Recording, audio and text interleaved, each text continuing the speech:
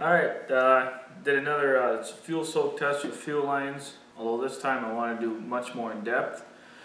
I have, this here was from my recent video where I did gasoline additives, it's the enzyme, which is this container here, that's only been since the 30th of January, but these other eight here have been since the 2nd of January, 60 days.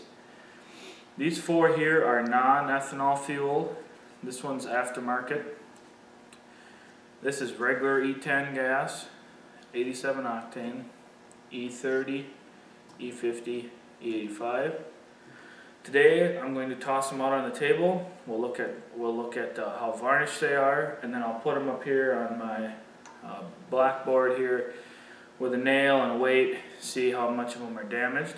Before I crack into them, I'll put my paper behind them so you can get a look at the color difference. The color difference between regular gas and non-oxy is quite a bit different, especially with this aftermarket one here. The formulations for non-oxy or non-ethanol and regular gas is much, much different. That's very apparent and was very apparent in my burn video. So, I'm going to open all these up. I'll lay a few lines out here and we will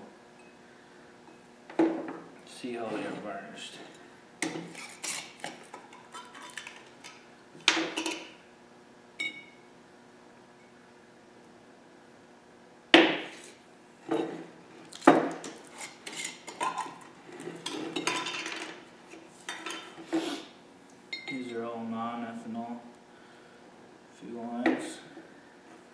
I wanted to include many non-ethanol fuels to see how much different was between them. That's a nice thing about mid-level blends and E85. You know what ethanol is. In today's modern gasoline, the common people have absolutely no idea how many harmful additives are found in gas. That's the last non-ethanol there.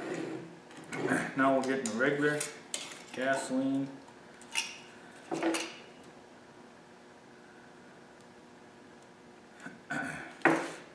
E30.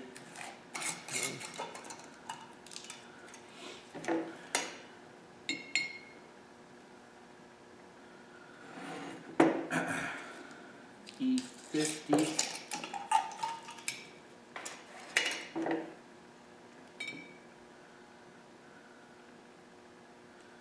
And E eighty-five, and we'll have the camera come up and get a good look with a fuel line that's never seen fuel.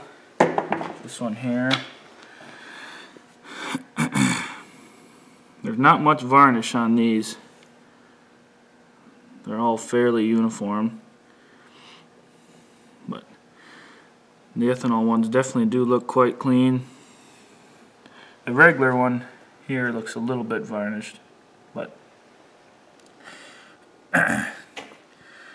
all right.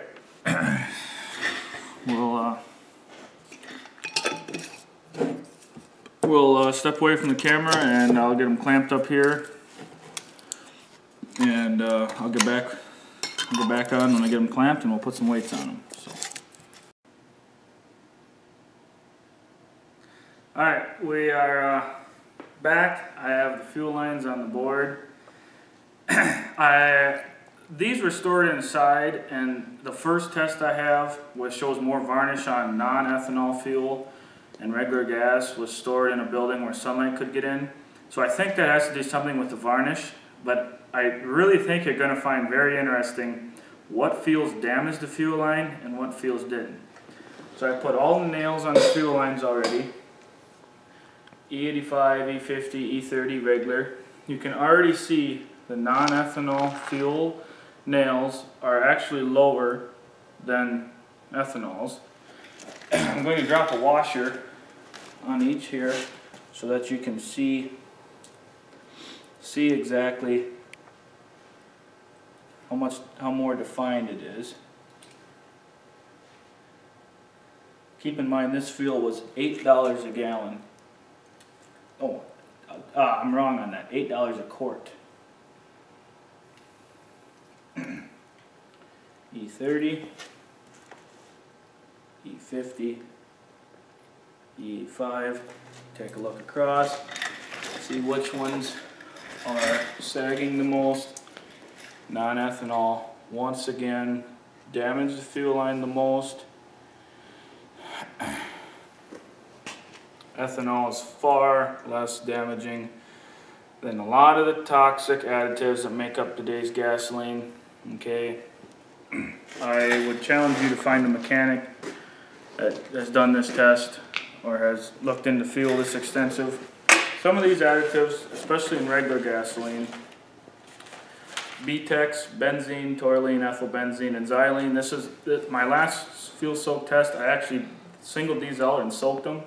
It was a week and they were like a noodle. They absolutely failed. It was terrible. Uh, this here I soaked on the end there. It was for a month and it didn't really do much.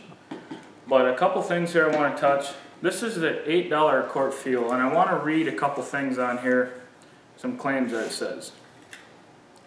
Street gasoline contains ethanol, which forms deposits and degrades fuel systems.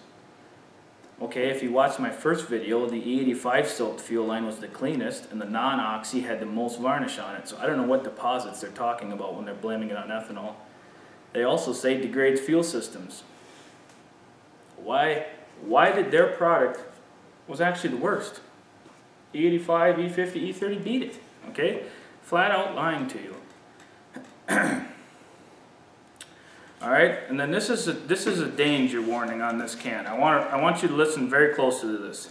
Highly flammable liquid and vapor may be fatal if swallowed and enters the airway, causes skin irritation, causes serious eye irritation, harmful if swallowed, may cause drowsiness or dizziness, may cause genetic defects, suspected of damaging fertility or the unborn child, may cause cancer, causes damage to organs, toxic to aquatic life with long-lasting effects. Okay, let's let's think about what ethanol is. It's ethyl alcohol, the same alcohol you drink in alcoholic beverages. Okay? When it comes to spills and human health, ethanol is light years ahead of toxic gasoline. A couple things I want you to check out. My vehicle has a change to E85.com conversion kit on it. I think I'm on 6,000 miles with it. I love it. Uh, look for two, uh, E15 pumps for your 2001 and newer. Uh, you get 5 more percent ethanol and by this test, the more ethanol you add, the less damage you have.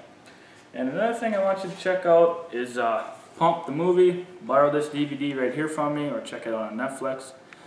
And the last thing I want to uh, tell you, I run a Facebook page with a buddy called Midwest Ethanol Outpost. This is what we do every day. We share this kind of stuff and it's uh, pretty cool some of the stuff that's out there that Big Oil tries dearly to hide. So uh, like it, share it, comment. Uh, see you next time. Check out my YouTube channel. Uh, that's all I have for tonight. Thank you.